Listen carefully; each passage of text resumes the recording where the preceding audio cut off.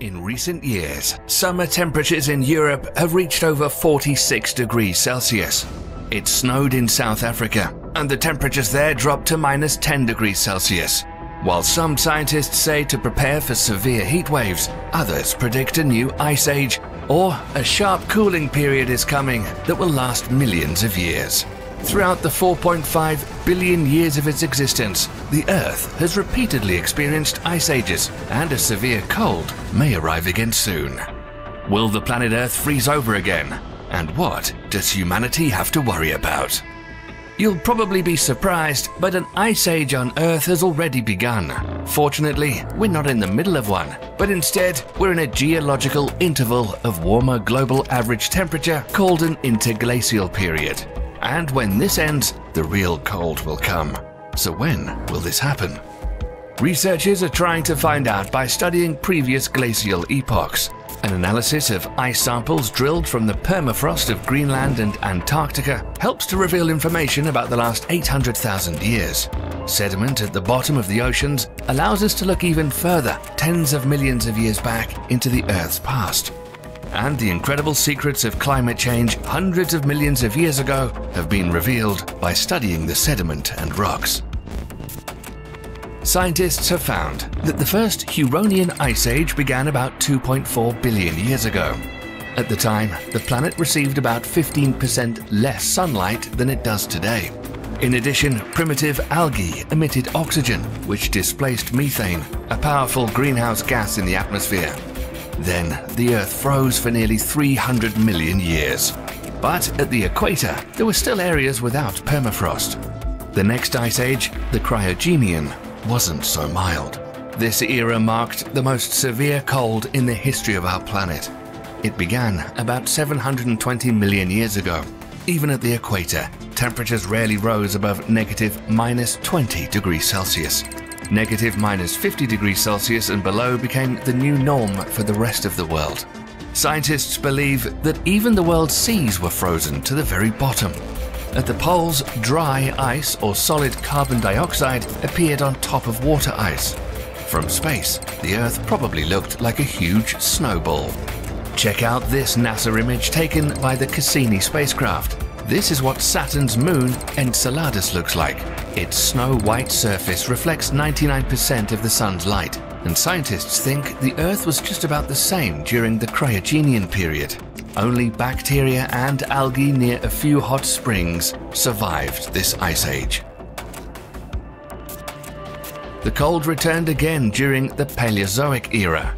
Called the Andean Saharan, the Ice Age began about 450 million years ago and lingered for 30 million years. But it was nothing compared to the Cryogenian. Three kilometer glaciers occasionally rolled up to subtropical latitudes, but in general, the temperature was only slightly colder than today. However, everything ended in disaster called the Great Dying, or the Permian Extinction, the largest mass extinction in the history of the Earth. According to one hypothesis, the thawing of the Earth at the end of this ice age led to the explosion of a so called methane hydrate bomb.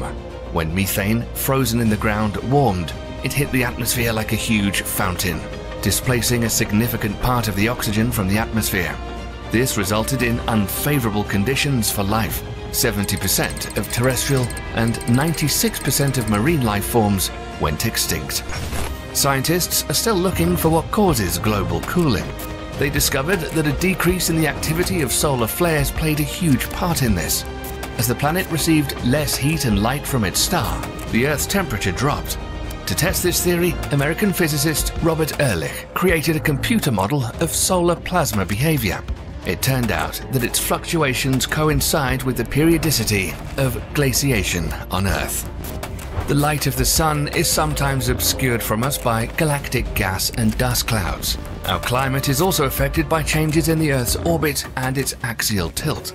This is shown in the astronomical model of ice ages proposed by the Serbian scientist Milutin Milankovic. It calculates fluctuations in the inclination of the Earth's axis under the influence of the Moon's gravity and the other planets of the solar system.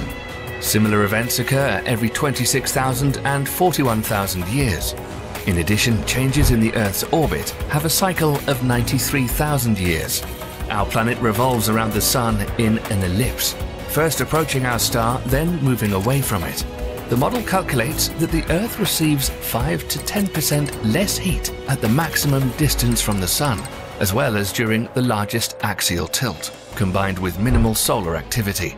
When this happens, an area of glaciers increases and, like all white surfaces, reflects the sun's rays back into space. This makes our planet even colder, and glaciers start growing in size again. The process continues for millions of years. The Earth is also periodically cooled by volcanic eruptions. Their emissions pollute the atmosphere and trap sunlight. The world ocean absorbs carbon dioxide that warms the atmosphere. Meanwhile, continental plate shifts from mountains and steep mountain ranges can draw carbon dioxide out of the atmosphere.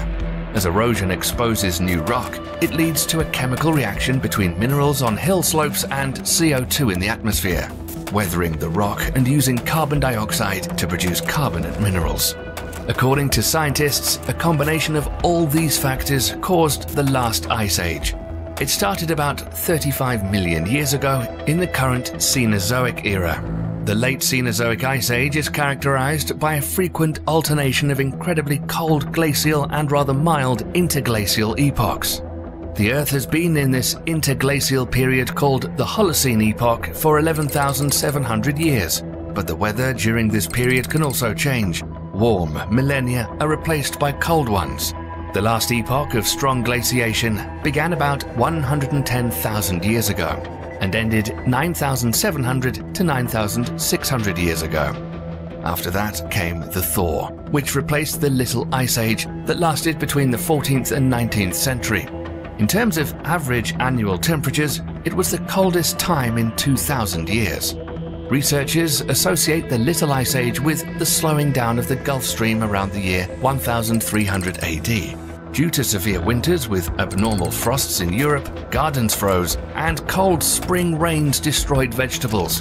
By 1350 AD, the Great Famine broke out and lasted for two decades. By the end of the 19th century, a thaw arrived again, which has lasted to this day but eras of strong glaciation usually return every 10,000 years, so we're running out of time. And some scientists predict an intense cold in the near future. So, how is this possible when temperatures on Earth are only rising? Glaciers are constantly melting, and mankind is actively fighting global warming.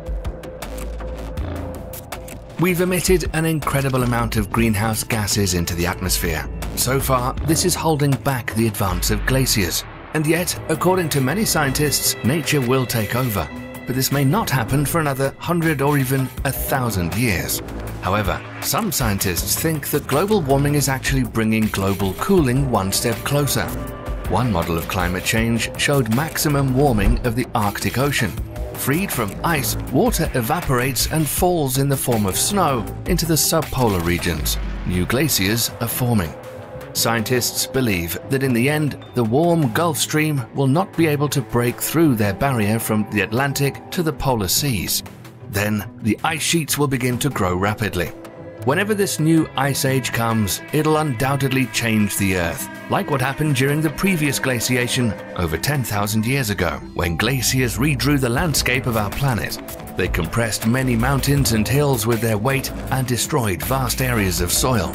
Ice sucked water out of the oceans, lowering sea levels. Many rivers transformed into huge valleys and lakes within continents. Land bridges appeared between continents Canada, Scandinavia, the British Isles, most of northeastern Europe, and Russia were under ice sheets several kilometers thick. If such conditions happen in the next ice age, humans will have a rough time. According to some hypotheses, the temperature at the equator would drop by about 10 degrees Celsius and in the north and south down to minus 50 degrees Celsius. In vast areas, the cold would destroy crops and lead to a massive famine. A similar thing happened after the eruption of the Toba supervolcano 74,000 years ago. According to researchers, only 2,500 of our ancestors managed to survive the long volcanic winter. The entire global geopolitical order would also be turned upside down. The borders of most countries would change due to lower sea levels. According to scientists, the ocean level would descend by 150 meters. Malaysia and most of the Indonesian islands would be united into a single landmass. Sri Lanka would once again be connected to India by a surface land bridge, and Ethiopia would merge with Yemen. Water bodies would also change dramatically. Perhaps the Mediterranean Sea would be cut off from the global ocean. Not a single port in the world would be able to accept ships because the ocean waters would roll away from those ports. But what would happen to North America and Europe? Imagine if you lived in Florida and California where the sun shines all the time and walking out one morning and seeing the landscape of Alaska. Such climatic conditions would even happen in the south of the United States. Almost all grain crops wouldn't survive there, and food supplies would quickly run out. Those lucky enough to find food would perish from the cold because power stations couldn't survive long in such cold and would shut down. Buildings would fall into disrepair and eventually collapse. Huge crowds of people would move south. Australia, New Guinea, Sub Saharan Africa, and Southeast Asia would continue to have a warm climate suitable for agriculture. There, new islands suitable for life would form within the ocean, and India and Brazil would probably have the status of world superpowers. The temperature climate and the lowering of the ocean levels would give these countries a huge amount of new fertile land. But would they be able to feed billions of refugees? Some experts believe that they wouldn't. Battles over food would begin with residents of countries with a favorable climate. Currently, the situation isn't that scary because over the last centuries, the development of our civilization has literally skyrocketed. If we have mastered space and visited the moon, then why couldn't we cope with the cold? There are already a lot of interesting ideas about how to survive the upcoming ice age. One idea is to add greenhouse gases to the atmosphere to warm up the planet and chlorofluorocarbons might just be what we need. This mixture is much more efficient than CO2. Systems like fusion energy could also help to keep the Earth warm. They are designed for Arctic conditions and work based on nuclear fusion reactions.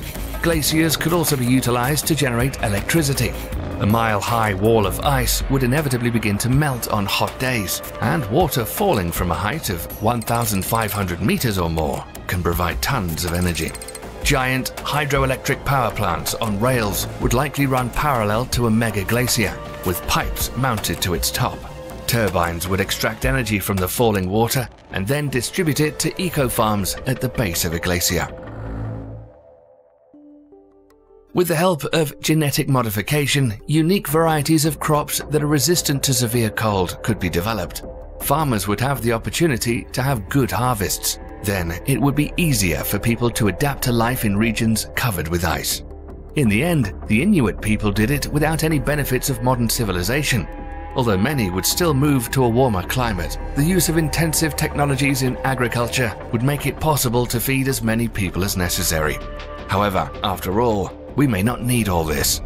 A mild ice age is another possibility, or the next ice age could take some other completely new form. Nature can turn a specific region into a giant desert. Scientists say that now a huge amount of greenhouse gases pollute the atmosphere with particles of various substances. These gases don't allow the sun's rays to reach the planet, but instead warm up the atmosphere. When a lot of these substances accumulate, the Earth could become a huge baked Alaska dessert. Cold and icy on the inside, but with a warm outer layer consisting of the atmosphere. Scientists have yet to find out which scenario of the next ice age is most likely. But whatever the case, the entire history of the Earth is a series of cold and warm epochs. Judging by the previous cycles, winter is close, and it depends on our preparation whether humanity can survive an upcoming catastrophe. Many people imagine the end of the world as an asteroid strike that destroyed the dinosaurs or a nuclear war with the entire arsenal of mankind. But what if all this is not even close to what could turn the planet into a hot hell? Space is full of diverse objects we don't know much about. That's why they capture our interest every time we spot them. But with this thrill often comes fear especially whenever there's a comet heading towards us. It's no surprise we haven't got a clue on how to stop an asteroid or comet from hitting the planet. But soon, having such technology might become vital. New scientists operating one of the most advanced astro cameras have just made an eye-opening finding. They detected a monster comet that's already in our solar system, and it's moving fast. In August of 2013, scientists launched a project to map a portion of the southern sky which completed in 2019. It's called the Dark Energy Survey. An incredible 570 megapixel camera called the Dark Energy Camera grabbed data from over 300 million galaxies amounting to 50 million megabytes. Scientists have just begun to go over that data, and they found something that they didn't expect. Data created 32 images showing a blurry dot in the darkness of space, located about 2.5 billion miles away from Earth. It wasn't until it got close to the planet Uranus that astronomers were finally able to figure out what this strange object was. What scientists detected was a comet with a size a thousand times above average. It was dubbed C2014 UN271, also known as Bernardinelli Bernstein after its discoverers. Given the amount of sunlight it reflects, astronomers speculate the object's diameter is somewhere in between 60 to 125 miles. That's an insanely big number. To compare, an asteroid that wiped dinosaurs out of existence is thought to have been just around 6 to 9 miles wide. But since Bernardinelli Bernstein is still so far away, it's not clear whether the calculations are close to real measurements. Another fascinating fact about this comet is that the last time it entered our solar system was 3 million years ago. That's about the same time a well-known human ancestor, Lucy, lived. Given such a long orbital period, it seems the comet should have come from a very distant place. And it happens there's just such a place, believed to be home to trillions of comets. It's a place called Oort cloud, a spherically shaped region of space containing various remnants from the early ages of our solar system. The Oort cloud is located far beyond the dwarf planet Pluto and might stretch to 10,000 AU from our star. So scientists think Bernardinelli Bernstein is the most remote comet we've successfully spotted on its way to us. Such an early discovery gives us plenty of time to study this comet and eventually explain its nature. So when will it get close to us? According to scientific estimates, the closest encounter with the Bernardinelli Bernstein comet will come in 2031. So far, astronomers claim the comet imposes no threat, as it will fly by at a significant distance from us. The closest it will get is 11 astronomical units. That's about 10 times farther away from the Sun than the Earth. It won't even be visible in the sky with the naked eye. But since Comet's behavior is hardly predictable, we don't know what to expect.